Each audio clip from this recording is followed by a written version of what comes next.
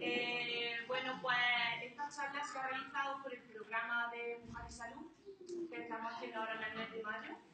Y nada, durante una semana entera haremos actividades, charlas informativas, vamos a hacer una caminata. Por ejemplo, hoy tenemos la charla ginecológica, pero el miércoles tenemos una charla de una nutricionista.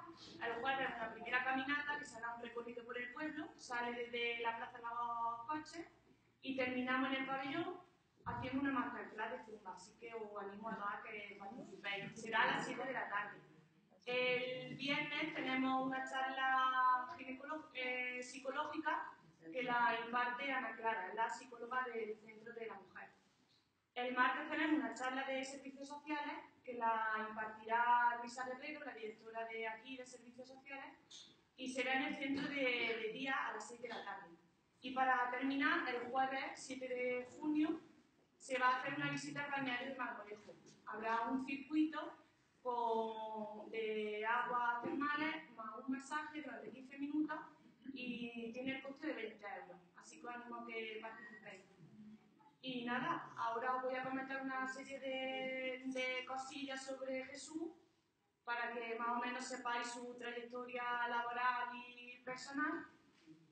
Y nada, el comienzo se llama Jesús Presa Lorite, nació en Jaén el 19 de enero de 1981 es hijo de Benito Presa y Maripal Lorite.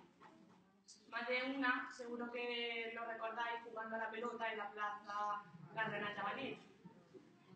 Comenzó su estudio en el Colegio San José de la Montaña y los Trinitarios de Andújar. Siguió entre la ciudad de Linares y Torredonjimeno, siendo un alumno, brillante de notajas. Con 18 años se trasladó a la ciudad de Granada a realizar la carrera de medicina, especializándose posteriormente en ginecología. En su época de estudiante nunca le faltaba el bote de la casita encima de la mesa, que se cepillaba para amenizar esas largas horas de estudio. Realizó el MIR en el Hospital Virgen de las Nieves de Granada, quedando primero en la provincia de Jaén. Cursó un doctorado especializándose en osteoporosis en personas adultas. Desde que aprobó el MIR, comenzó a trabajar en el Hospital Materno Infantil de Jaén, y ya son nueve años los que lleva allí trabajando. Ha sido tutor de varios residentes que han pasado por el hospital para enseñarles lo máximo posible y realiza multitud de conferencias sobre ginecología en diferentes puntos de España. Una de sus grandes aficiones es el deporte. Le gusta mucho el atletismo y compite en múltiples carreras de provincia. Jesús está casado con Susana y tiene un hijo y una hija. Vive en Torre Jiménez, pero eso no es una excusa para no visitar a Jona, mínimo unas dos o tres veces al mes, para estar con la familia. Así que nada más, os dejo con Jesús. Muchas gracias por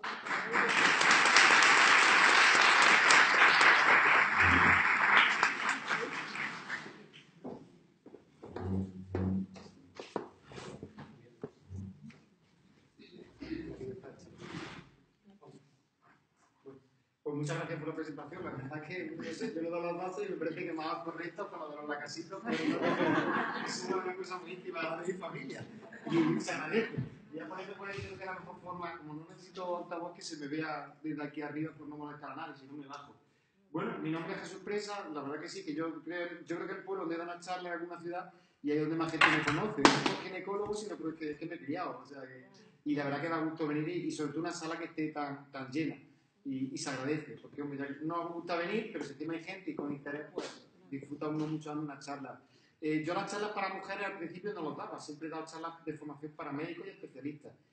Y hace un tiempo me lo propusieron y me parece una experiencia muy buena, porque me es muy agradable, veo muchas veces más interés y he aprendido muchas cosas, porque muchas veces la consulta con tan poco tiempo no da, no da para preguntar y la verdad que me, ha resultado muy grata la experiencia que está con las mujeres, sobre todo con las preguntas. En el título, eh, perdón por la pantalla, pero veo por la logística del proyector lo da. La imagen a veces, bueno, la imagen se van a ver, las letras, como yo las letras son de apoyo, bueno, se puede preguntar cualquier cosa y si hay alguna duda, pues lo, lo leeré en voz alta, ¿no? Las diapositivas tampoco son la base de la, de la charla, pero eh, lo pongo lo de charla coloquio, porque yo si en algún momento alguien quiere preguntar o dejar preguntas para el final, todo lo contrario, yo creo que en el rato que estemos aquí, si alguien quiere hacer una pregunta que surge sobre el momento, todo yo encantado de poder responderlo. Igualmente, bueno, yo trabajo en el Hospital de Jaén, llevo ocho años trabajando por suerte allí con diferentes proyectos Y el escudito que hay aquí abajo, el lema que si trabajo para, estoy trabajo en la asociación y formo grupo de, de grupo de trabajo, es de la Asociación Española para el Estudio de la Menopausia, ¿vale?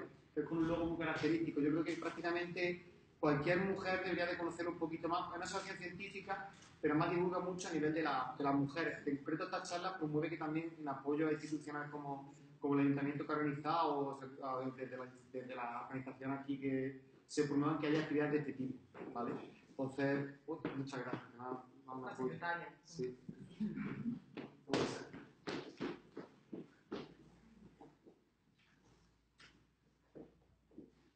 bueno. Y agradezco mucho que se me haya invitado para, para darla por lo mismo. Yo, si hay alguna página, si alguien quiere consultar alguna vez una cosa, eh, es la AE, la Sociedad Española de de Menopausia, www, lo digo al final. Merece mucho la pena la página para las mujeres que vean cosas y además hay una sección que permite que el experto responda. Yo formé parte una vez también, van renovando, y hay un especialista en menopausia que responde a, a, la- a cualquier cuestión que uno tenga que hacer totalmente anónimo y por, por internet. ¿vale? Eh, bueno, la charla también la dan otras veces. Este libro es un libro que, que no le llegaba entero, el primer te lo ojeado, pero me gusta mucho el título, ¿no? que hay mujeres que leen, mujeres que son peligrosas. Una vez lo, lo dijeron en una charla un compañero, un- alguien con el que yo trabajo, y lo malinterpretaron. Porque dijeron, oh, qué machista. Que, que-". yo, yo siempre lo he pensado al contrario, ¿no? realmente el libro repasa historias de la mujer a través de diferentes momentos de arte, sobre todo de cuadros de la historia. Pero a mí el título me parece bastante elocuente. Muchas veces las mujeres han pedido esta charla en torno al Día de la, de la Mujer, y yo creo que, que es bastante reivindicativo, pero claro, evidentemente son peligrosas porque saben. Realmente muchas veces yo creo que no, la discriminación no va so- sobre todo con el sexo, que también mucho, pero sobre todo el que sabe. O sea, si alguien lee es peligroso porque sabe más que el otro, ¿vale? Entonces yo siempre he animado que la lectura, para cualquier persona, pero para la mujer yo no incluyo la lectura, me refiero a estos actos, o sea, venir a una actividad de este tipo y todas las que he organizado en el libro del programa me parecen muy interesantes, pues yo creo que ya es un comienzo para saber un poquito más. ¿Por qué lo digo? Bueno, pues esto es la mujer, abajo pone esa gran desconocida, ¿vale? Entonces, eh, con los hombres, bueno, yo siempre cuento más o menos antes de empezar la charla y veo que el foro masculino, bueno, aquí veo lo que es la representación técnica que se agradece y hay un infiltrado, un, un hombre que en condiciones normales me daría un aplauso general, pero no vale porque va secado, es mi padre, entonces claro, estoy yo. Pero, claro, me llama la atención que siempre que se haga esta charla, el título lo puedo poner, no viene nunca un hombre. Yo siempre animo, ya lo he dicho al final de la charla, que venga algún hombre, porque le merecen. Yo diría, si hubiera hombres, la charla la tomaría de otra manera. Intentaré que para los hombres también entendieran, porque no sé por qué no hay más hombres aquí para entender un poquito más. La mujer desconoce más de lo que yo creía. O sea, por desgracia, a lo mejor la gente joven sabe mucho y cree que sabe más de lo que sabe, porque cree que sabe más. Y la gente a partir de cierta edad, por desconocimiento, tabú o falta de costumbre, también desconoce. ¿vale? Ya tiene una madurez, pero no preguntan. Y los hombres, pues son, la mujer para el hombre es una gran desconocida. Yo me dedico a la ginecología, me parece una especialidad preciosa, pero me he dado cuenta de cuando hablo con gente, pues el desconocimiento del hombre en todas las edades. Y de las mujeres, pues también veo que a veces merece la pena dar esta formación, ¿vale? Entonces, a ver si, bueno, yo voy a dedicar la charla en estas pinceladas y espero que por lo menos sirva de apoyo. ¿Por qué digo que esa? Porque, bueno, en la etapa de la vida de la mujer se ve todo, pues desde que empieza la primera regla hasta que termina la edad reproductiva, empieza la perimenopausia, ¿vale? En ese periodo que veis en el circulito. Bueno, la charla una vez me pidió que la diera de todas las etapas de la salud de la mujer. Es imposible sintetizarlo. O sea, es, que es tan, tan amplio el tema que me costó mucho. Y entonces esta etapa a mí es una charla que especialmente me gusta mucho. O sea, yo dentro de la ginecología el campo que más trabajo es el terreno de la menopausia. Esta palabra la voy a decir una o dos veces nada más. No entenderán por qué. Es una palabra que no me gusta. O sea, me dedico a eso, pero no me gusta esa palabra. Pero no porque no esté bien, porque médicamente es correcta, sino por todas la- las connotaciones sociales que tiene, erróneamente. Y muchas de ellas las tienen las propias mujeres, que le dan ese estigma. Y ya hacer chistes sobre menopausia, pues tampoco me gusta. Me parece una cosa grosera cuando puede ser un momento muy delicado. Entonces, bueno, realmente esa etapa de la vida, ¿vale? En la foto se ven cuatro mujeres, pero esa etapa de la vida en la que más me dedico, ya la voy a explicar por qué me dedico, ¿vale? Aparte del motivo médico, tengo otros motivos, y se lo voy a explicar. Pero, eh, básicamente, esta foto, que incluso una charla del Instituto la Vid, casi todas las mujeres lo saben. O sea, es un ciclo reproductivo de 28 días de la mujer. Empieza el primer día con la regla, a la mitad del mes más o menos, pues, es la, la ovulación. La ovulación y, bueno, ya sabemos cómo después verán. Básicamente, esta, el, ser humano, la mujer tiene un ciclo reproductivo todos los meses durante su periodo fértil, prácticamente. realmente es un desperdicio energético. O sea, no hay ningún animal, ninguna especie tiene esta capacidad. Cualquier animal tiene dos periodos reproductivos al año, uno, ¿vale? Pero la mujer se reproduce constantemente. Bueno, tenemos este periodo desde que viene la menarquia hasta que se va la regla. y esa es la característica fundamental. Hay reglas y hay, la finalidad de tener la regla solo es una, es quedarse embarazada. ¿vale? Como somos realmente no tenemos esa capacidad de atinar con el embarazo, pues tenemos muchos ciclos. Fuera de eso, la producción no tiene otro sentido, hablando antropológicamente, pero la finalidad es quedarse embarazada, ¿vale? Bueno, pues sabemos cómo funciona. Esto muchas mujeres lo desconocen en ocasiones, los hombres lo desconocen completamente, ¿vale? Yo, ahora que puedo, sin que se insulte mi padre, puedo menospreciar al hombre, el hombre tiene un conocimiento, se cree, por ejemplo, que la vagina, ¿vale? No sé qué se creen que. Se creen que puede, aquello puede perderse en un agujero negro y pueden entrar cosas que no salen. O sea, el, hombre de verdad que tiene unos conceptos que, que gusta preguntar, ¿no? Pero, ¿por qué? Porque desconocen y no preguntan, ¿vale? Y ya está, aquí estamos. Esa es la etapa reproductiva. La etapa reproductiva que, por cierto, a muchas mujeres les resulta raro. Pero la edad media de la edad reproductiva en España está en unos 31 años para la población española. Vamos a seguir con una, un aumento y nos vamos a acercar para el 2050, para los primeros hijos lo van a tener la mujer entre los 33 34 años. Realmente puede caer una locura, pero por las condiciones sociales las mujeres ahora no van a ser las mismas que hace 20 años, que a lo mejor ustedes en este momento, ni vamos a ser las mismas que dentro de 25 años. Normalmente veo que la media de edad en este, aquí pues, va por la edad que yo me esperaba para la población, pero que hay muchas mujeres jóvenes que dirán, pues es verdad, y es verdad que llama mucha atención cuando ustedes han podido quedar embarazadas entre los 22, ¿no? 25, vamos por 32 y dentro de 30 años iremos por los 35. Hay una cosa, eh, la vida vivimos mucho, vivimos más ahí por lo suerte, pero la edad reproductiva no se engaña, ¿vale? Es una cosa que no va a cambiar, la edad reproductiva está ahí y tiene una finalidad muy lógica, ¿vale? ¿Por qué? Porque, bueno, aquí está lo que es el concepto de, de, de menopausia, perimenopausia. Esta es la segunda vez que lo voy a comentar después ya, ahora verán por qué. Porque está el climaterio. El climaterio suena mucho más bonito, ¿vale? El climaterio es todo lo que envuelve a esos periodos, periodos primeros años y esos posteriores. Casi todo el mundo le han explicado que lo de la menopausia es cuando falta la regla. Médicamente cuando falta un año de regla, ¿vale? Y después de eso, ya como adelanto, siempre que hay un sagrado, a cualquier mujer que está en ese periodo, hay que hacer una revisión ginecológica, ¿vale? Eso no cabe condición ninguna. Cualquier persona que sangre después de ese periodo tiene que ir al médico y que la deriven al ginecólogo. Sí o sí, ¿vale? Yo creo que no hay ningún problema en eso. Y si no derivan, insistan porque es importante verlo. La mayoría de veces no hay nada, pero hay que controlarlo. Pero después está todo ese periodo. El periodo empieza mucho antes. El periodo empieza realmente entre los 42, 45. Ya las hormonas no empiezan a hacer lo mismas. Van poco a poco descendiendo. Y la capacidad de quedarse embarazada no es lo mismo a los 20 que a los 25, que es una edad estupenda, lo que hicieron ustedes lo que queremos es quedarnos embarazados a los 35 como si tuviéramos 25 y no se puede. La mujer cuando nace, pues su ovario va con una carga folicular y eso es lo que le anda. Son dos. Van. ¿Y qué se gasta? Los mejores se gastan primero. Los mejores óvulos, los que tienen más capacidad. Los que quieran para los 40 dan para tener una regla, dan para tener hormonas, pero no dan para quedarse con un embrión bueno. Por eso muchas veces pues, no puede embarazar uno, tiene más abortos, porque va a funcionar así. ¿Vale? Entonces van quedando para tener. Y que uno de los síntomas que empieza pronto pues son los trastornos de la regla, porque no se ovula igual. ¿Vale? Entonces tenemos etapas en la que hay climaterio. El climaterio es muy bonito porque tiene todas estas etapas muy listas. Empieza incluso, hay libros que a los 35 años empiezan a primar las primeras fases, a los 35 años. la mujer ya consiguió el pico y a partir de ahí ya estamos entrando en recta baja de, calidad, ¿vale? Pero bueno, vamos a ponerlo en torno a los 45 y 55, lo que le da ese periodo de perimenopausia. Lo voy a leer textualmente, ¿vale? Porque es una parrafada copiada de un libro, pero para que suene. Es un periodo de la vida de la mujer en la que ocurre la declinación hasta el cese completo de la función ovárica folicular, hasta que el ovario deja de funcionar. Con la consiguiente reducción del nivel de estrógeno y aparición de molestias que puede afectar a la importante calidad de vida. Es una definición médica de un libro de, climaterio. Básicamente el climaterio y la menopausia, a mí la definición que me gustaría es esta. Periodo de la salida de la edad reproductiva. ¿Cuál es la diferencia? Que la mujer ya no se queda embarazada. ¿vale? ¿En qué periodo está? Pues que en ese que no me quedo embarazada. Pues sí. ¿A que suena mejor que menopausia? ¿Qué ha pasado? Pues es que no voy a quedar embarazada. Sí, sí, que no me quede. Tampoco he cambiado más. Sigo siendo mujer, tengo mi brazo, trabajo. Ahora vamos a ver que es verdad que puedo acompañar unos cambios, pero tengo mi vida igual, pero no voy a quedar embarazada. Esa es la diferencia médica que ha cambiado hasta entonces. ¿Vale? Pues, pues si le damos el concepto, mucho mejor. Y esta es la parte importante en la que quiero que entiendan, porque el año no, o sea, la menopausia es una cosa que ha sido motivo de chiste, ¿vale? Pero es que la menopausia existe hace muy poco. ¿Por qué? Porque la menopausia ocurre en torno a los 50 años. Eso de aquí para atrás. Claro, antes de 1900 no había menopausia, porque la gente se moría antes. Ya está, es que no cae más. Entonces, teniendo en cuenta que la sociedad es machista, que la medicina ha sido muy machista, o sea, todos los ginecólogos que habían tenido eran hombres. O sea, hasta el año 85-90, todas las figuras importantes, oye, que están muy bien, que, han estudiado, eran grandes, pero no tenían una visión femenina. Eran ginecólogos y es lo que estudiaban. Entonces estaba sesgada, ¿vale?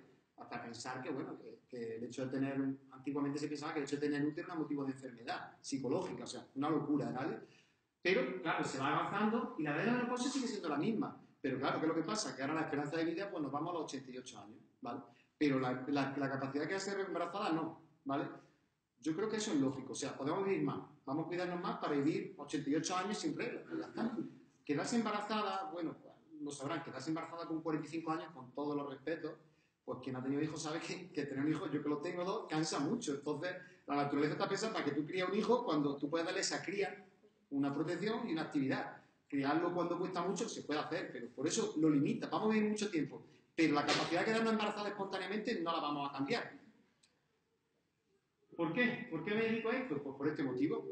Realmente es un proceso, un proceso, un proceso que va con la edad y parece entre los 45 y los 55 años. En la estadística que tengo del 2015, ahora cambiado un poquito más, en la, la pirámide de población, el 48% de la población española femenina, aproximadamente ahora mismo, está en edad de menopausia. Si yo me dedico a esto, pues tengo en la clientela asegurada. Hay que ser muy listo. O sea, embarazada va a haber, vale, pero que embarazada son 20 años, la gente está embarazada. O sea, le dedicamos durante el estudio de la, de la ginecología, en mi caso pasa, año entero a ver el embarazo, a ver el embarazo, a ver la capacidad de quedarte embarazada. Y después nos forman relativamente más en más de la mitad de la mujer de, la, de su vida. O sea, la mujer se va a tirar casi la mitad de su vida en menopausia, fuera de la edad reproductiva, no antes.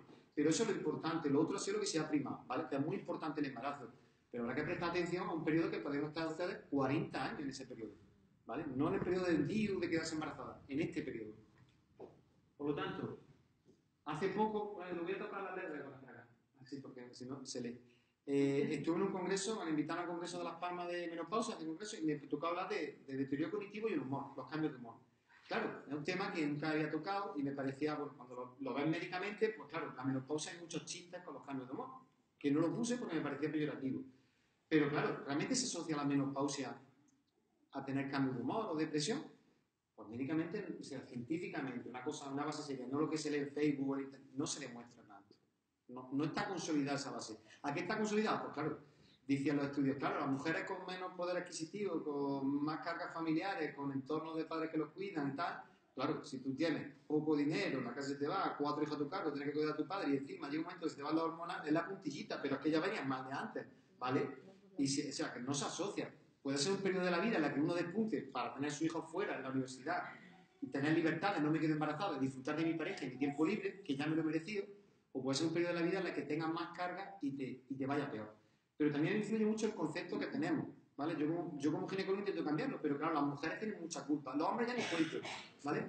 Pero las mujeres tienen parte de culpa. ¿Por qué? Pues esta, esto sí lo puse en la misma conferencia. Lo pongo a los médicos, lo puse. Yo lo descubrí, me parece, me pasa que... Esta es la, la tribu, es una paciente de la tribu Borulla, ¿vale? De Nueva Guinea, Parulla, ¿vale? Es una, paciente, una tribu que existe. Es una tribu muy peculiar porque en esa tribu las mujeres, durante, mientras menstruan, tienen reglas, no pueden acceder a los puestos altos de la sociedad.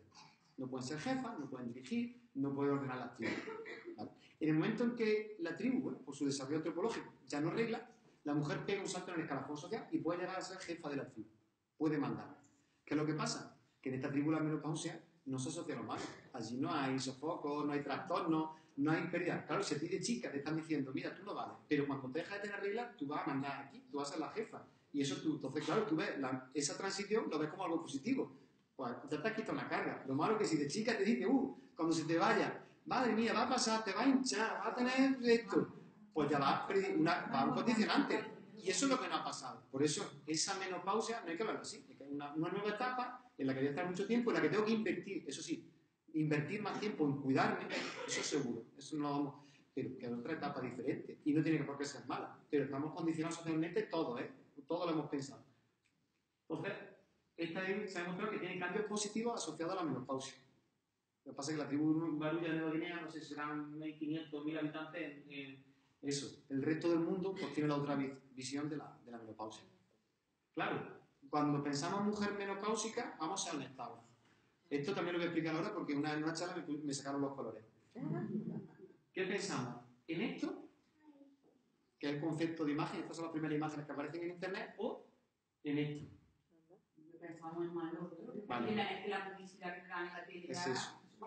Aquí me sacó una mujer, me levantó la mano, siempre me adelanto, y me dijo, pero es que yo, que me encuentro así, no tengo por qué estar como la de la derecha cuidándome, sino digo, digo, lleva toda la razón.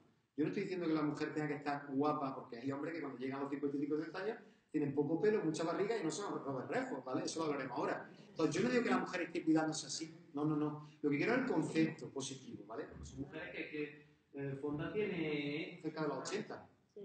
Claro, eso no vale. Nadie tiene ese tiempo, ese dinero, esos cuidados, ¿vale? Ojo. Pero ¿por qué no lo asociamos al revés? En vez de ver esta mujer que lo pasa mal con arrugas, sin querer el otro concepto, ¿no? Porque son mujeres menopáusicas, ¿eh?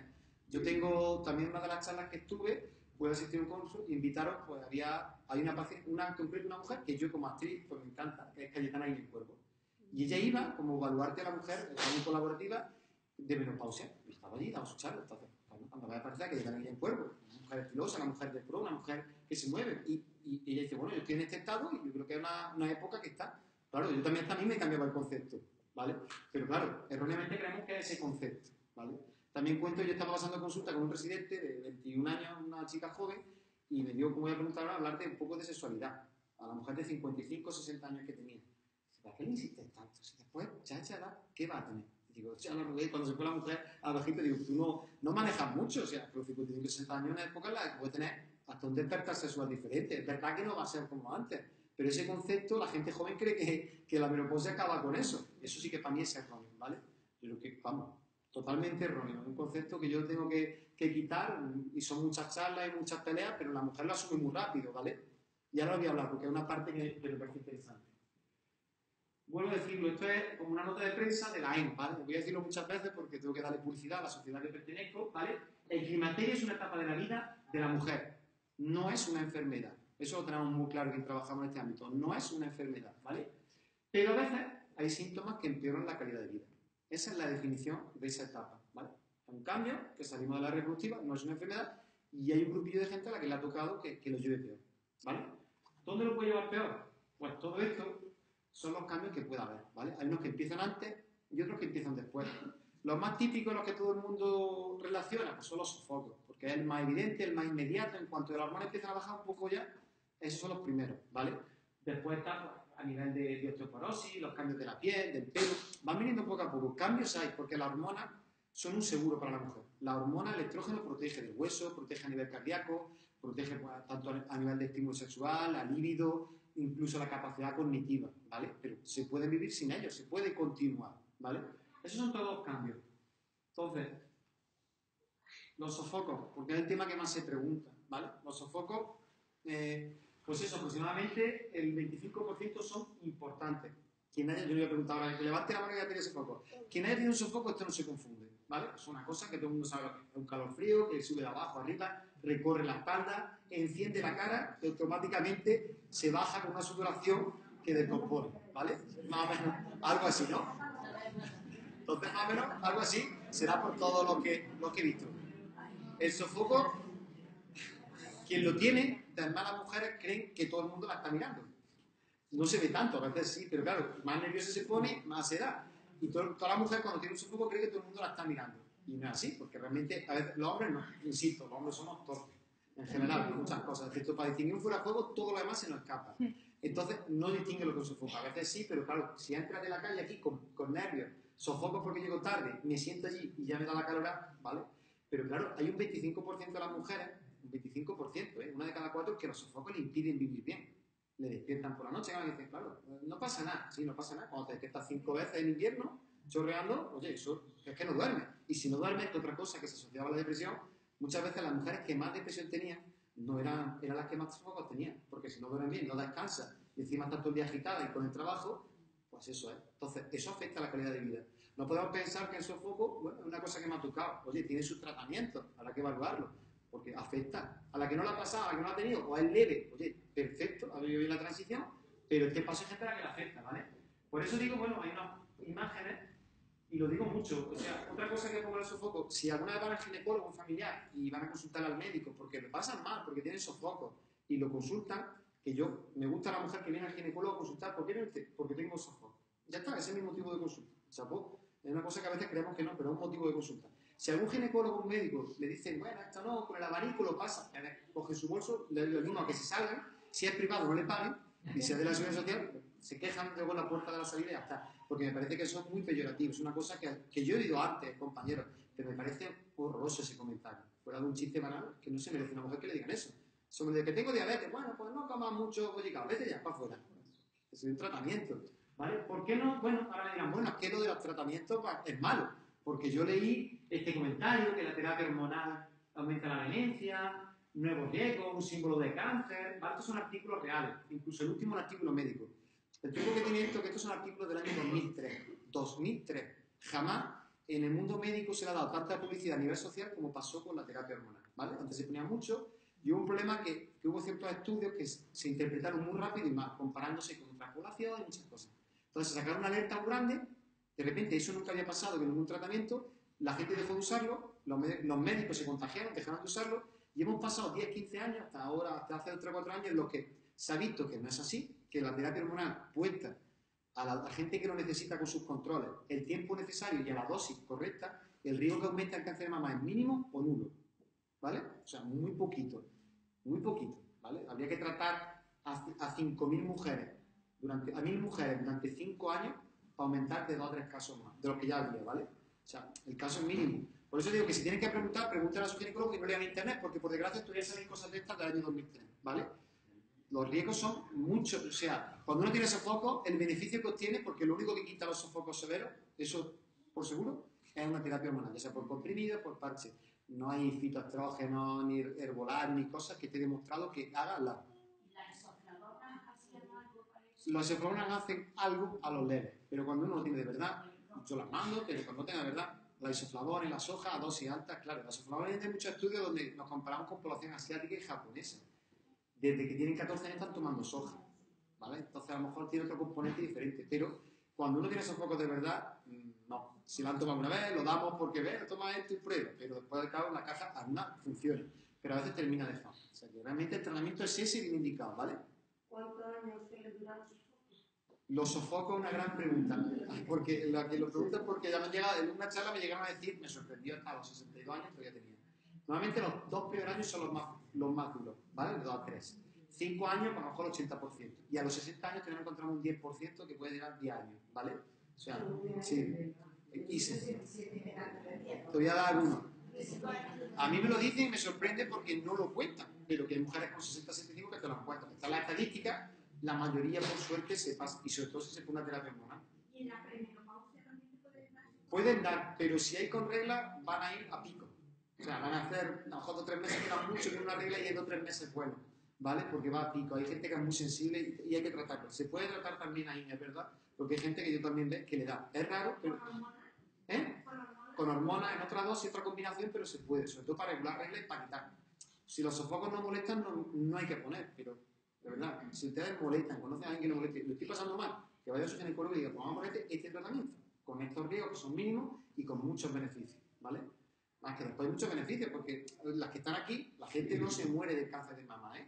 A ver, Yo sé que la gente que lo haya pasado, tenga familiares, por suerte un cáncer de diagnóstico precoz, evidentemente hay casos negativos, pero el 90% más se curan. Las mujeres se mueren de un infarto. Eso es lo que se mueren las mujeres. La principal causa de mortalidad por de los 75 años es el infarto. La terapia hormonal protege frente a ese infarto. Si le damos en el momento una poquita hormona, las arterias están más limpias. Entonces, asuman, es que nos dan venden una cosa equivocada. O la menopausia precoz. Seguro que hay alguien que tenido una, una menopausia entre los 40 años. Y a lo mejor no le han puesto tratamiento. Entonces, hay daño que se ha dicho en ese momento porque teníamos miedo, pues está la mujer y no se le pone. Pero es que, a lo mejor dice, sí, el riesgo de cáncer de mama, el riesgo de cáncer de mama es poquito. Pero es que no protegerse cuando esos momentos, esos 10 años, dañan a la arteria. Insisto, las mujeres no se mueren la mayoría de cáncer de mama, aunque sea es del infarto. Lo que pasa es que cuando uno tiene infarto, la ha tocado, la ha tocado, ¿no? Hay riesgo, entonces, bueno, pues hay que invertir en calidad de vida, hay que cuidarse el doble para protegerse, ¿no? Eso es lo que yo quiero hablar ahora, para protegerse. ¿Qué es lo que nos cuentan muchas veces? Eh, esto es una imagen así de no me lo creo, porque las pastillas, entonces, ahora hablan aquí muy convencida y cuando van a casa dicen, pero no me lo creo del todo. O sea, no me creo yo que de las pastillas tiene. Porque aquí hay una imagen de la desconocida. Aquello pongamos que la terapia hormonal, ¿no? Pero el riesgo que pone es poquito, ¿no? Pero, ¿qué puede haber algo que aumente más riesgo que la. ¿Piensan que puede haber más que la terapia hormonal que aumente el riesgo de cáncer? alguna cosa, algún tratamiento, pues simplemente con, tener obesidad. O sea, una persona obesa, que eso tiene un criterio de peso y altura, se mide, si pesa tanto, pues tener obesidad tiene más riesgo de cáncer de mama que una terapia hormonal de tres años. Pero no nos quitamos de, de comer. Vamos a dejar la terapia y lo pasamos mal. ¿no? A mí viene mucha gente y dice, es que tengo terapia sofoco y fumo, que es una contraindicación para poner. Fuma mucho. Cuanto más fuma, más sofoco hay. Digo, vamos a hacer una cosa, quito los de tabaco, que te va a reducir el riesgo de cáncer de mama más de lo que te aumenta lo poquito que te lo aumenta. ¿Por qué no puedo dejar de fumar? Vamos a ver. Entonces tengo una posición. Me parece un poco que no invertimos en medidas básicas. Fumar. En este congreso que estuve hace poco hubo también un oncólogo y, y un cardiólogo y me sorprendió porque este dato es real, lo que pasa es que no lo asumimos. El 30% de los cánceres, 30% en la posmenopausia, ¿vale? A partir de los 50, se evitarían si se evitara la diabetes y la obesidad. El 30%. O sea, que no es una cosa inventada, que cuando me dijeron la cifra hace poco, porque yo la sé, pero cuando me dijeron el 30% tan rotundo, ya pienso, no dice, madre mía, nos estamos gastando un montón de dinero en hospitales, cirugías y unidades. Si quitáramos un poquito, nos dedicáramos a, concienciar a la gente de tener su peso normal, de verdad que habría menos, menos ingresos. Morir no vamos a morir, con 85, 88, eternos no, pero no nos vamos a morir a los 75 de un cáncer, de colon o de mama, ¿vale? Por eso viene el diagnóstico precoz, ¿vale? El diagnóstico precoz va muy bien, ¿vale? cáncer no tiene un diagnóstico precoz, lo bueno que tiene un, cáncer con diagnóstico precoz. Se identifica el cáncer, pero de manera precoz. Hay cribado, ¿vale? El autobús entre los 50 y los 69 años. Empiezo antes, me preguntan. El hecho de que tenga un familiar directo que tuvo un cáncer en la madre o la abuela, con 60 años, eso no aumenta el riesgo individual, ¿vale? El riesgo del cáncer de mama en las mujeres es relativamente alto, es una de cada ocho, ¿vale? O sea que es normal que haya un parentesco. Lo diferente es que se agrupen en la familia, que son muy jóvenes, ¿vale? Pero el diagnóstico normalmente empieza entre los 50 y los 69. Es que antes no pasa nada, antes pasa, pero hay que, no hay dinero. O sea, llega un momento que hay que acortar, antes se hacía los 45 cada dos años, pero como no hay dinero para pillar a toda la población, hay que acortarlo a algún sitio, ¿vale? Que alguien se quiera hacer una mamografía entre los 45, 2, en 50, bien. Que alguien me dice que empieza a los 35 a hacerse mamografía, no. Porque si no tiene riesgo, la mamografía no son inocuas, es una reacción constante. Hay que empezar cuando hay que empezar, ¿vale? Entonces hay gente que también se pide la mamografía como todos los años y, hombre, tampoco está mejor haciendo un diagnóstico muy precoz y un daño, ¿vale? Pero bueno, que nadie se olvide de hacerse su mamografía, ¿eh? Y si hay que ponerse terapia hormonal, antes de ponerse terapia hormonal hay que hacerse una mamografía, hasta los 69, cada dos años, ¿vale? Y la autoexploración, ¿vale? No mejora lo que va a hacer un médico de cabecera, pero bueno, si uno se conoce, se explora frente al espejo, ¿vale? Pues dedicando sus 5 o 10 minutos, rondando la sila, tocando, pues uno se conoce y puede notar un cambio pequeño, ¿vale? No hay que tener con mucha gente, es que tengo miedo, no, no. Eso es tocarlo, si está, pues se consulta, tengo miedo no. Por suerte, la mama da tiempo a hacer muchas cosas. Y, por ejemplo, yo trabajo en la de mama y esto es sota caballo y rey. O sea, no hay tumor que se maneje más rápido y, más, y con mejores pasos que el cáncer de mama, por suerte, ¿vale? Esos son la, los pasos de la autoexploración mamaria, ¿vale? Este, yo creo que este panfleto lo han repartido alguna vez, una cosa útil y, y, fácil. Y ahora el diagnóstico de, del cáncer de cuello de útero, ¿vale? Esto tiene otro manejo, ¿vale? El cáncer de cuello de útero, esta parte interesa mucho más en la charla a la gente más joven, ¿vale? Porque está más relacionado, ¿vale? A partir de cierta edad se estabiliza la, el nivel de cáncer, pero interesa mucho tenerlo, o sea, saber lo que estamos haciendo. ¿Hasta dónde llega? Hasta los 65 años, ¿vale? Hasta los 65 años se tiene. Ahora en la parte cuando digo a muchas mujeres, hasta los 65 ya no lo hago más citología, salvo que cambie de pareja. ¿Cómo? Pues sí, porque hay cambio de pareja. ¿Por qué? Porque el cáncer de cuello de útero es el único cáncer en el mundo que está demostrado que es por un virus. Hay un virus de vía sexual, se contagia, y si el virus se queda ahí mucho tiempo, porque mucha gente ha tenido el virus, se elimina, pero si el virus se queda, puede dar cáncer. ¿Qué pasa? Que cuando yo hago la citología o miro el virus, desde que está el contagio hasta que aparece el cáncer puede pasar de 8 a 10 años, ¿vale? Por eso es un diagnóstico tan precoz y es muy útil. ¿Qué lo que pasa? Si uno a los 65 años ya tiene pareja estable, ya no se sigue, ¿vale? Hasta los 65, la citología, cada 2, 3 años, ¿vale? Eso en el periodo en el que estamos, que nadie se le olvida hacérsela. Porque yo estoy seguro que si levantamos la mano, mucha gente se cree que ya a partir de los 50, 55 se acabó la citología. Ahora está pasando también que el pico de contagio y los mayores riesgos están en torno a los 25, 30 años, luego se estabiliza un poco y está apareciendo otro pequeño pico a los 55, 60. 50, 55 me parece que es. ¿Por qué? Porque la mujer tiene más independencia, la mujer llega a un periodo de su vida que se encuentra estable, no quiere aguantar, a lo mejor ya tiene más autonomía para, para separarse y busca otra pareja. Entonces otro piquillo que antes no pasaba y está cambiando. Es lógico también. Este tema, yo ahora es cuando tengo que reconocer que tenemos un problema los médicos, los ginecólogos, ¿vale? Yo me han formado y no me han formado bien en sexualidad. Yo creo que el ginecólogo, lo discutía con una compañera, que el ginecólogo no se tiene que ocupar de esto. Yo creo que sí. Lo que no tengo es tiempo. Pero debe de ocuparse un poco más, ¿vale? Porque el ginecólogo es el médico de la mujer, pero la sexualidad es una parte importante de la mujer. De hecho, estamos explorando siempre un hábitat que no damos cuenta de la, de sexualidad. Yo reconozco que compañeros mayores no quieren ni oír del tema. Lo evitan, lo tratan fugar. No hay tiempo en la sociedad social. Cada vez hay más formación, hay máster y formación exclusiva en sexualidad. Aquí en Jaén no hay, pero en Marbella, Madrid, Sevilla, tengo compañeras mías que se dan cuenta de esta carencia, se hacen un máster, se lo trabajan durante dos años y se vuelven, se montan su gabinete privado y tienen mucho trabajo, porque no hay buen asesoramiento sobre este tema, pero a nivel físico y a nivel psicológico, ¿vale? Yo intento cada por tres dar un poquillo de información, pero le aseguro que al Sandro le interesa que yo me forme en esto, porque no es una consulta que más le interesa que vea de mioma, que vea de citología y de la mama, pero esto no interesa mucho, ¿vale? Pero bueno, yo creo que la sexualidad es un campo importante, en tanto que esto, esto es el mecanismo de la sexualidad en el hombre, ¿vale? La sexualidad machista, creo que todavía. ¿Por qué? Porque así funciona el hombre. Un botón para arriba, on, y un botón de abajo, ¿vale?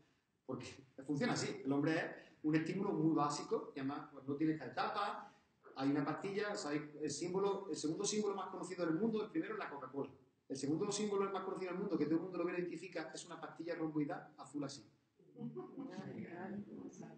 O sea, ¿cómo han conseguido que un medicamento, viendo la pastilla nada más la forma, sepamos de qué estamos hablando, que es la Viagra? Por eso, porque para el hombre funciona muy bien, para la mujer no hay, se está intentando, pero no hay. Es machista, ¿vale? Porque al hombre se soluciona el problema con una pastilla, ¿vale? Pero para la mujer, por desgracia, no lo hay. Es verdad que es mucho más complejo. Mucho más complejo en este sentido, ¿vale? Este es el mecanismo de función de, función de la mujer de sexualidad, ¿vale? Tiene mucho más complejidad. Me pasa, no me pasa, los niños tengo que hacer las tareas, me he madrugado, me he dejado sin hacer, no me he depilado. O sea, el mecanismo bastante más complejo. Es así. Hay un anuncio en la tele que yo lo comento mucho hace tiempo, es que no se acordarán, era de Paladín. Entonces, ve una pareja de mediana edad joven y, y, se ve como la muchacha está viendo la tele, también está así tumbada, de repente la muchacha se acerca al muchacho así, sin más, y le toca aquí. Y bueno, el muchacho se mira para atrás, se echa encima y se va a la imagen. Y pone paladín, calentar y listo. a mí me parece poesía pura, de verdad. Es que no anuncio que dura 10 segundos 15 y me parecía que era poesía. Y así funciona. Claro, la mujer, es verdad que esto que parece un chiste, pero que está estudiado, o sea, está estudiado, está estudiado por, por científicos que se dedican a sexualidad, que el mecanismo de la mujer en el desarrollo de la sexualidad mucho más complicado. Yo no lo podría tratar en una charla solo, pero claro, hay factores psicológicos, gente cómo se encuentra una de ánimo, cómo está, y que te apetezca tener relaciones. Yo en una charla, una sexóloga a la cual intento ver siempre, claro, le pensaba una cosa. Los hombres estamos a nuestra, a nuestra tarea, sí que trabajamos y tal, pero llegamos a la casa, no tienes problemas, tú no piensas en qué hay que hacer, nada, y estás pensando en el sexo. Y claro, si estás pensando en algo, te apetece. Pero la mujer está trabajando en su casa, llega, y que si los niños no han comido, que se le prepara la ropa de mañana, que si tengo que ver la, ropa, la lavadora, y si tengo otra cosa que preparar de comida. Claro, si yo estoy pensando eso hasta las 10 de la noche, ¿dónde deja yo un hueco para pensar en un estímulo? Pues si no pienso en algo, no me puede apetecer algo. ¿Vale? Y, y funciona así, lo decía una mujer, me llamó la atención mucho. Los factores físicos, los cambios físicos, a mí me sorprenden mucho, porque yo solo veo hombres, mujeres en consulta. Entonces, los cambios físicos, la mujer es muy crítica con ellos. ¿Vale? La mujer se ve en el espejo y, y, se ve muy crítica en cuanto ve la forma, el peso. Es verdad que con la menopausia me dice engorda. La menopausia no engorda. Lo que cambia es la distribución de la grasa, que hay una grasa que nos gusta. Cambiamos de una forma de pera a una forma más de manzanita. Entonces, engorda más la barriga. Y eso es lo que nos gusta a la mujer. Pero a la mujer se le suele cuidar infinitamente mejor que un hombre. ¿Vale? Que lo que pasa es que a la mujer no se le perdona una cana, no se le perdona un cambio, y al hombre se le ve de otra manera. Pero es sorprendente cómo un hombre se puede ver atractivo que no son Robert Redford, muchos de los hombres. Entonces, el autoestima del hombre ahí, pues no pasa nada. Pero la mujer es muy crítica a veces, entonces, como no me veo bien, ya el estímulo desaparece, ¿vale? Y otro factor que, bueno, que debe de cambiar. Esto depende mucho de las hormonas también, porque hay una cosa que es la libido y las hormonas contribuyen, ¿vale? Las relaciones con la pareja. También hay que tener en cuenta eso. Son muchos años, entonces muchas veces, eh, si la relación que tenga con su pareja, la complicidad, no se puede tener sexo como antes. Con 20, 25 años, el aquí te pillo, aquí te mato puede ser literal después no puede ser. Yo tengo muchas charlas con las mujeres, trabajo con la unidad de mama, con mujeres con cáncer de mama, que se ven casos muy complicados, porque se queda por molestias, y muchas veces les puede explicar, y esto me dice la asesora, que a lo mejor la relación no tiene que tener siempre penetración. Y la gente no lo entiende. Pues no, puede tener un estímulo un día, poco a poco, algo que, que apetezca, y ya, ya, seguiremos poco a poco otro día, o no tener penetración en la relación. Y hay gente que, que dice, anda ya, pues sí, pero no, eso lo dice la sexóloga en la charla, mujeres que saben más y puede haber una relación así, y nadie se lo plantea. Y por supuesto también pues, las influencias sociales y culturales. Vamos, creamos un ambiente que muchas veces nos condiciona lo que he dicho. Desde chica que la menopausia es mala y que a partir de eso olvídate. Que hasta se ve mal. ¿Pero por qué? Si puedo si me- oye, yo una persona que quiera disfrutar de su pareja cuando no tenga hijos ya en casa, tiene que ser de lo más placentero del mundo, me imagino. Tener una casa entera para uno solo. Claro, yo tengo una casa con dos niños, pues son, es, un alboroto, pero imagino que llegará un momento que, que estaré solo allí. Me apetecerá más o menos, pero puede ser otro estímulo. Y paso al siguiente punto, que es donde yo más trabajo, ¿vale? Igual que la sexualidad, pues reconozco que no tengo una formación, lo intento, a ver si en próximas charlas consiguiera, y esto es lo de osteoporosis, ¿vale? Que esta es la parte última de la menopausia, la, la última que se ve sería esta, la falta de hormonas. Esto es el hueso está hablando. La, esto es una enfermedad que mata mucho, mata más que el cáncer de colon. Pasa que muchas veces no lo explican. ¿Por qué? Porque ya saben ustedes que no conoce a alguien que estaba paquita, ha salido a la calle, se ha caído, se ha roto la cadera y no ha salido del hospital. Porque mata, que la fractura de cadera, una de cada cuatro se muere. Y eso viene de antes, viene de que nos faltaban hormonas, que no hemos protegido, y hay mucha osteoporosis, y pasa lo mismo, la osteoporosis, cuanto más oscuro el color, más osteoporosis hay, que es un, hueso blando. Si no nos cayéramos nunca, cuando muy blando que esté el hueso no pasa nada, pero es que las mujeres se caen, entre 85 y antes. Claro, en África, pues los pobres, entre que trabajan más y no llegan a los 80 o 70 años, pues no tienen osteoporosis. Simplemente porque depende mucho de la edad. Pero aquí, casi el 80% de los que están aquí van a llegar a los 80 años. Entonces, esto hay que prevenirlo. Esto hay que prevenirlo. ¿Por qué? Porque esto es la masa ósea, las dos resitas que se ven, ¿vale? Uno, uno el hombre y la mujer. No sé si, nunca dicen cuándo se alcanza el pico de masa ósea. La masa ósea de la mujer crece, la pubertad y llega a un pico. Y el pico es lo que hemos conseguido para toda la vida. Ese es nuestro ahorro. Y a partir de ahí se mantiene. El pico se alcanza en torno a los 30 años. 30, 32. Ya hemos conseguido el pico de masa ósea. Ya no vamos a, a superarlo. Los huesos tienen la calidad ósea que tenemos, que es muy buena. ¿Qué es lo que pasa? Que tenemos que mantenerla. En la mujer está ese cambio hormonal, esa flechita gorda que se llama menopausia, y ya empezamos a perder más rápido. El hombre no. El hombre, pues bueno, como no tiene ese cambio, pues no se nota. A partir de esa época, la mujer se tiene que cuidar mucho más. Mucho más para no perder tanto hueso. ¿Vale? Más de 2 millones de personas con osteoporosis. El problema es que las fracturas de vertebrales, ¿vale? No se dan cuenta, porque la cadera sí, pero de vértebra, ¿quién me ha dicho alguna vez? Si es que no llego al bote igual que antes. Habrá crecido el bote, habrá puesto, no, no, es que se pierde un centímetro de altura y ya no se alcanza igual, ¿vale? Entonces muchas veces hay signos, ¿vale? Y el problema es que la gente fallece, la gente se rompe la cadera, ¿y por qué? Porque no se ha hecho una revisión, porque no estaba, porque ha perdido mucho peso, está muy delgadita, no ve bien, se ha levantado por el baño, otra cosa, la alfombra, sin luces, va al baño tres veces, pues al final está uno jugando aunque se cae. Por lo tanto, calcio y vitamina D, con una buena alimentación. Eso vale para todo. La osteoporosis se hereda. No, es muy complicado. Yo tengo la tesis doctoral de eso y, y marcar que haya un polimorfismo tan grande, a no ser que sea una enfermedad de tiroides o algo, y paratiroides, que influya, mm, que haya demostrado una secuencia genética concreta para darla así, no, no es tan fácil, ¿vale? Se, nota, se puede dar la predisposición en tanto mujeres delgaditas, de piel muy clara, que haya una menopausia precoz, y eso predispone, pero la osteoporosis como enfermedad, yo tengo combinaciones, pero no es tan fácil decir, su madre tuvo osteoporosis, le voy a hacer este estudio genético y le va a salir como para mano, ¿vale? Pero, sobre todo los factores de vida de prevenir las caídas y la actividad física, de verdad, la actividad física, la actividad física, yo una cosa que influye. ¿Por qué? Porque para perder peso, para encontrarse en forma, antes con un kilómetro perdíamos un kilo. Ahora vamos a perder ese kilo a partir de los 50 años, pero necesitamos 3 kilómetros, ¿vale? Hay deportes muy buenos. Los que tengan impacto son los mejores para la osteoporosis, ¿vale? Saltar, andar sin articulaciones. Natación, por ejemplo, es muy buena para articulaciones, para la espalda, pero como tiene impacto, pues no previene, porque el hueso tiene que tener impacto para que se remodele, ¿vale? Entonces, de verdad, el ejercicio físico, si alguien no lo ha tenido el hábito, que lo tome a partir de ahora. Es estupendo. Ojalá nos dijera, mire usted, cuando se le vaya la regla, tiene que ser obligatoriamente una hora de caminarse todos los días.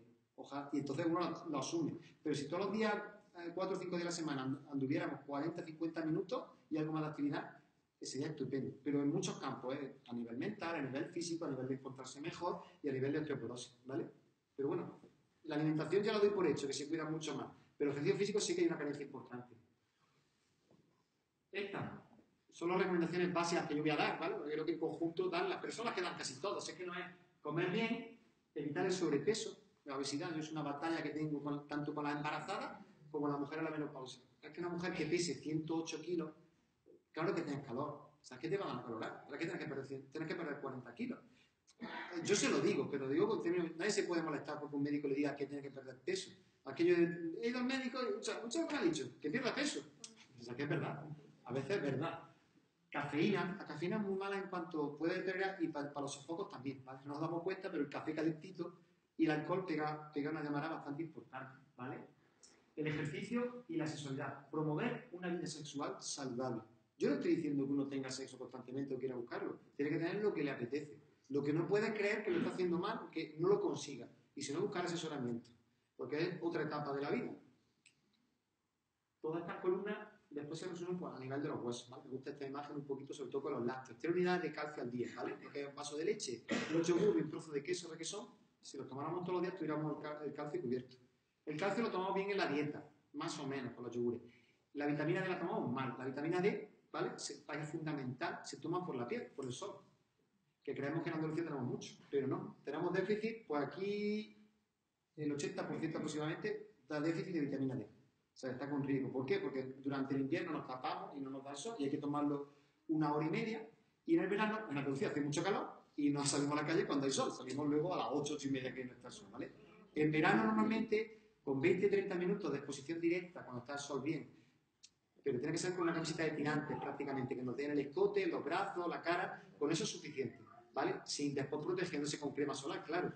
Y en invierno, ojo, hay que alargar el tiempo, porque la exposición es diferente, estamos hablando de una hora y media. A ver, en invierno viene el guapo que se va de aquí a Arjonilla y se pone, y se pone camiseta de tirante con el frío que hace, pero tenemos déficit. Y si no, pues tomamos suplementos, que hay suplementos con botecito una vez al mes y se consigue. Tenemos malos hábitos, pero en los países nórdicos, estas rubias altas, ya mejores que están también con tienen mejor vitamina D que nosotros, porque como saben que no tienen sol, pues lo suplementan los alimentos y toman sus suplementos. Nosotros creemos que estamos muy de sol y vamos mal. Y ya me queda la parte última, que es la más inminente que se que es la, la molestia vaginal. Es un motivo de consulta muy alto, muy alto. De hecho, los laboratorios, cuando los laboratorios están sacando productos para esto, es porque consultan mucho. Cada vez más cremas, más tratamientos, lo cual me alegro, pero es porque aquí hay mucho, mucha demanda de este tema. ¿Vale? El problema es que uno da incomodidad, desconoce los tratamientos, no consulta y el 70% no, no le preguntan al ginecólogo o le preguntan de, de la IJO y a veces se queda en una cremita nada más. Yo no sé, de verdad creo, yo si pudiera comprar acciones, del producto que compraba acciones de Vaginesil. O sea, eso es una campaña que no sé quién. Solo Vaginesil parece que vale para todo. La, tele ha conseguido pensar que ese producto es maravilloso para todo, pero es un más de muchos que hay y tiene también sus carencias. Pero la gente cree que ya me he puesto Vaginesil y no me ha ido bien. Como voy a por el siguiente escalón, pero hay que preguntar también. Hay muchos tratamientos, de verdad. ¿eh? Una infinidad de tratamientos que hay en la mujer para esto. Y seguro, muy seguro. ¿Cómo evitarlo? Pues están hidratantes, como es un nombre que he puesto comercial. El de la derecha, que se llama Bisel, ese tiene un poquito de estrógeno, ¿vale? Y los estrógenos locales son muy seguros. Por suerte, a nivel de la vagina, en cuanto le pones un poquito de hormona local, que se queda ahí, responde muy bien, si no hay contraindicación, ¿vale? El hacer ejercicio otra vez, no fumar. Y después, pues eso, yo no lo digo como burla, pero la vagina es un músculo, y se lo digo a las mujeres. Claro, si uno no ejercita, no puede pensar que va a llegar y por echarse una cremita eso está. Hay que ir poco a poco, pero que la vagina es un músculo. Cuanto más ejercite, más se estimula tanto la musculatura y se refuerza un poquito más. Entonces, eso no lo podemos olvidar.